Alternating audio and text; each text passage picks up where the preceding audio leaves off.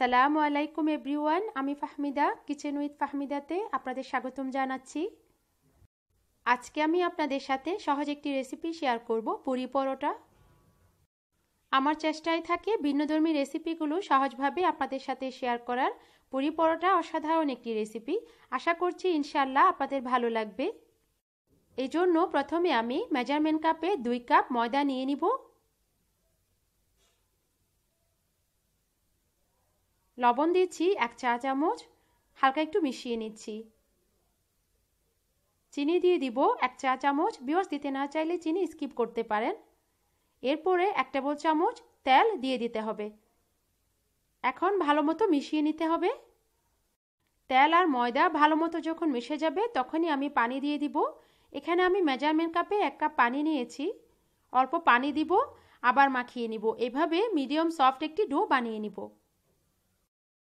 কিছুটা সময় নিয়ে আস্তে আস্তে করে মাখাতে হবে।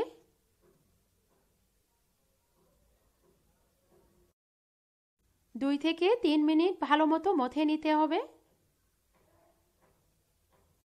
বিওয়ার্স দুই কাপ ময়দার জন্য আমার পানি লেগেছে প্রায় মেজারমেন্ট কাপে এক কাপ। যে কাপে আমি ময়দা নিয়েছি, সে কাপে এক কাপ পানি নিয়েছি। প্রায় এক টেবিল চামচের মতো পানি কম লেগেছে। আপনাদের কম বেশি লাগতে পারে। এখন আমি ঢাকনা দিয়ে রাখছি প্রায় বিশ মিনিটের জন্য। এখন আলাদা একটি পাত্রে আমি প্রথমে দুই টেবিল চামচ তেল নিয়ে নিব। এরপরে আমি দিয়ে দিচ্ছি দুই চা চামচ ময়দা।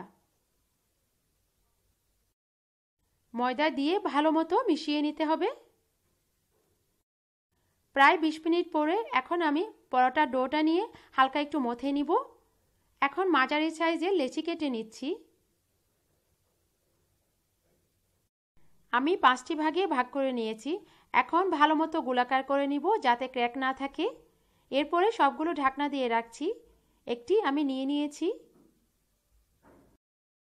এখন আমি শুকনো ময়দার সাহায্যে বড় সাইজের একটি রুটি বানিয়ে নিব।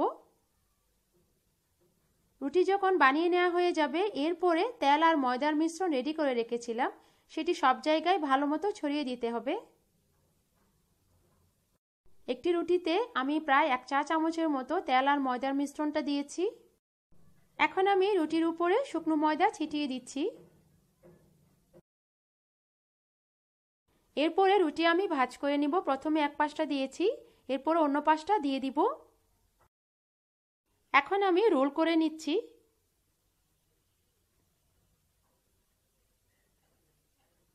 একেবারে রোল করে নিব না, হালকা একটু অংশ রেখে দিয়েছি। এখন আমি পানি লাগিয়ে নিচ্ছি। পানি আসলে আঠার কাজ করে। পানিটা দেওয়ার কারণ হচ্ছে আমি যখন রোল করার পরে এটা চাপ দিব, তখন যাতে র্যাপটা খুলে না যায়। দেখুন বিওয়ার্স এখন আমি চাপ দিয়ে দিচ্ছি। বিওয়ার্স যদি কোনো কারণে ফোল্ডিংটা খুলে যেতে চায়, হালকা একটু পানি লাগিয়ে দিলে সেটা এমনিতে লেগে যাবে। এখন আমি হাত দিয়ে কীভাবে চেপে দিচ্ছি, দেখুন বিওয়ার্স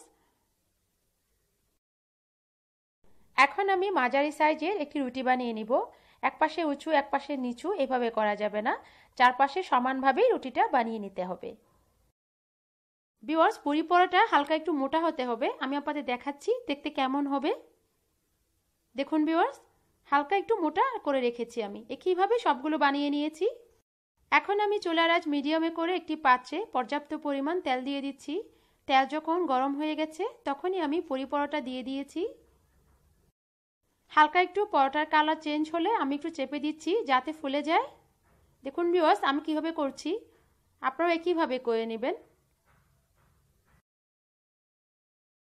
এক পাশে হালকা একটু কালার চলে আসছে, এখন আমি অন্য পাশে উল্টিয়ে দিব। উভয় পাশে গোল্ডেন ব্রাউন কালার করে ভেজে নিতে হবে।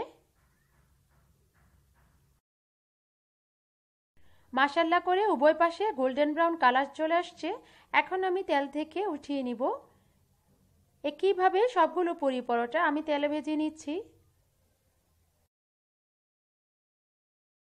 পুরি পরোটা রেসিপি যদি আপনাদের ভালো লাগে প্লিজ আমাকে অনুপ্রাণিত করার জন্য আমার চ্যানেলটি সাবস্ক্রাইব করবেন আর ফ্রেন্ড অ্যান্ড ফ্যামিলির সাথে শেয়ার করবেন। আগামীতে ইনশাল্লাহ ভিন্নধর্মী রেসিপি নিয়ে হাজির হব। আজ এই পর্যন্ত আসি। আল্লাহ হাফেজ।